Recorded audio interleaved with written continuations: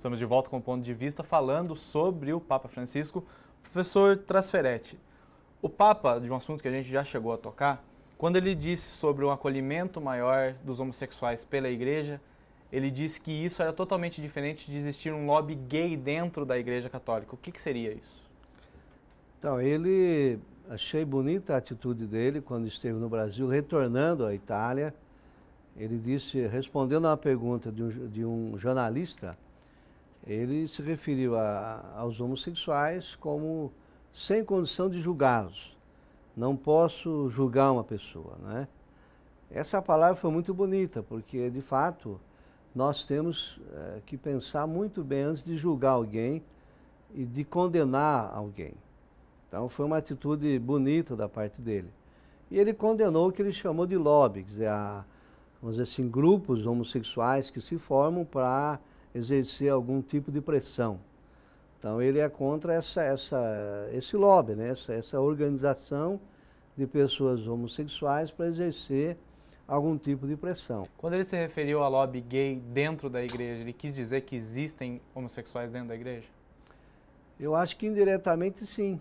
E existem, ele, professor? Eu não sei, eu não sei porque eu não conheço exatamente a, a movimentação dos homossexuais dentro da igreja. É, penso que não, penso que não existe um lobby. É, é o que pode existir são pessoas homossexuais, não tanto assim, pessoas com orientação homossexual, porque eu faço uma diferença entre orientação e, e vida homossexual. Né? Você pode ter uma orientação, mas você pode não ter uma, uma vida com um parceiro, coisa do gênero. Né? Então pode existir situações mas, mas tudo, vamos dizer assim, dentro da, da, da, da normalidade do que pensa a Igreja Católica. E diante desse assunto, por outro lado, nós temos o Sínodo da, das Famílias, né? Que é do Papa. Isso. Como é que foi essa... Então, o Papa, esse ano, acho que uma coisa bonita que ele fez foi convocar um sínodo extraordinário sobre a família. 2014. 2015 vai ter um outro sínodo ordinário. E após esse, sínodo, ele vai é, publicar um documento. Então foi um, assim, um elemento de destaque de 2014. O que quer dizer isso? O Papa chamou pessoas do mundo todo para discutir, conversar, analisar é, a questão da posição da igreja diante das famílias do mundo moderno. E hoje você sabe que existe a família clássica, nuclear, pai, mãe, homem, mulher, filhos, casado no civil e na igreja. Mas existem outras situações de família que a gente entende como irregular. Pessoas que moram juntos, mas não são casadas, pessoas de segunda união, terceira união, é, convivência, amizade e tal, é, casais homossexuais. Então o Papa convocou aí um sínodo para tratar desse assunto. Isso foi muito importante. Não foi um sínodo deliberativo, foi reuniões de estudos.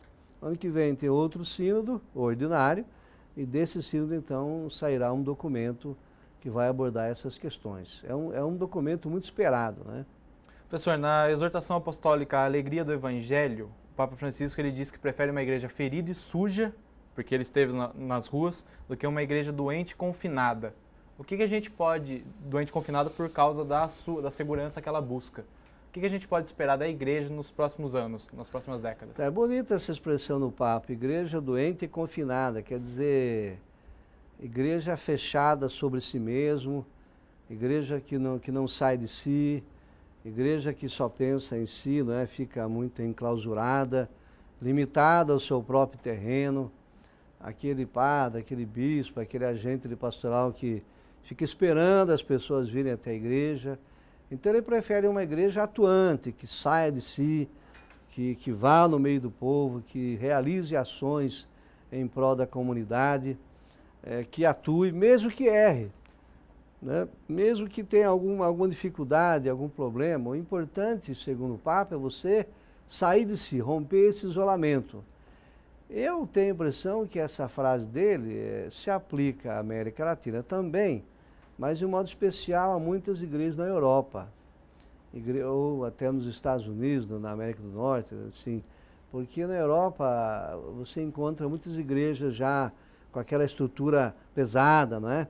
parada, é, assim, com poucos fiéis, que, que, que não se movimenta. Então ele quer dizer, olha, ou a gente se movimenta, ou a gente sai de si, ou a gente faz alguma coisa, ou a gente vai acabar morrendo. Então eu prefiro uma igreja que suja, ou seja, que entre no mundo, né, que suja o pé de barro, que vá na favela, que vá na periferia, que vá no asilo, que vá numa creche, que vá num, num, num, num posto de saúde, né, do que você ficar com o seu sapatinho limpo dentro de casa lá, parado. Então essa expressão é bonita e eu acho que ele tem falado coisas muito interessantes eh, nesse aspecto e em outros aspectos também. Ele também se referiu um pouco a esse negócio acumulativo que muitos bispos, padres tinham, que também. ele condenou tanto. O Papa Francisco, dinheiro. ele escolheu o nome Francisco, não foi à toa. São Francisco de Assis, São Francisco Xavier, no caso, talvez alguma referência maior a São Francisco de Assis, uma, uma pessoa que renunciou à riqueza e se aproximou dos pobres. E ele tem dado exemplo. O, o, o carro dele não é mais aquele carrão chique, é, é um é carro humilde, né? As suas roupas, o seu sapato, o seu modo de ser. Então, Francisco se assemelha ao Francisco de Assis. E ao agir dessa forma, ele também critica aquela, aqueles bispos, aqueles pasos, aqueles leigos que, que querem esnobar, querem mostrar riqueza, querem agir como se fosse assim, é, pessoas é, especiais, nobres e tal, não é? É bonito, eu acho que é importante também esse, esse testemunho, né? A igreja da simplicidade, a igreja da misericórdia, a igreja que sai de si, a igreja que vai em busca do próximo, a, igreja que, que, que, procura as pessoas mais humildes. Então é uma, é, é uma atitude muito bonita do Papa. Um Papa latino-americano já significa uma descentralização da igreja? É, na minha opinião, sim. É, foi uma novidade após tanto tempo, né, um Papa latino-americano, com um jeito de ser latino-americano, embora ele tenha sangue italiano, né, Bergoglio, é, certamente a família veio da Itália, mas é um Papa latino-americano. O que quer dizer isso? Mais alegria, mais pujança, uma maneira de ser diferente. E acho que isso tem sido muito bom, tem renovado, tem, tem, tem, o povo tem visto com bons olhos, não é? É um Papa realmente muito interessante para uma época difícil e acho que ele vai deixar um legado positivo. Ele está indo rápido demais nas mudanças ou não? Eu acho que não. Eu acho que, assim, uma coisa são os gestos dele. Aí a gente não tem como dizer nada, porque é, é a maneira dele ser, né? a sua atitude, o seu jeito. Ele não quer ser papa, assim, no sentido de, de nobreza, ele quer ser bispo de Roma. Bispo de Roma, não papa, no sentido de autoridade, né? Então essa atitude, o nome Francisco e essa atitude de simplicidade, eu acho que não é ser rápido, é, é aquilo que o mundo esperava. A questão de doutrina, até agora não mudou nada, e acho que não vai mudar, assim, em termos substanciais, não é? O que vai, a grande contribuição no Papa Francisco vai ser a mudança de estilo, o modo diferente de se comportar, a atitude diferente diante do povo, diante do mundo, né? E isso é um exemplo para todos nós para padres, para bispos e para leigos. Né? Essa igreja aberta, acolhedora, misericordiosa, que se renova, que sai de si, que, que anda, que vai atrás dos outros, que não fica parado esperando. Não uma igreja doente, isolada, mas uma igreja que, que coloca os pés no barro. Né? Essa atitude eu acho que é muito positiva e muito necessária no momento atual. Para a gente encerrar, a pergunta que muita gente faz, existe a possibilidade de um Papa brasileiro? Existe, possibilidade existe. Né? A gente tem o Claudio Humes, que é muito próximo a ele, é, né? que diz que até ajudou ele a escolher o nome Francisco. Isso, possibilidade existe. Seria muito bacana, muito interessante, né? Eu, pessoalmente, não acredito muito, mas é, possibilidade existe. Por que, que o senhor não acredita? Porque eu acho que é o poder da, da Europa ainda é muito forte, né?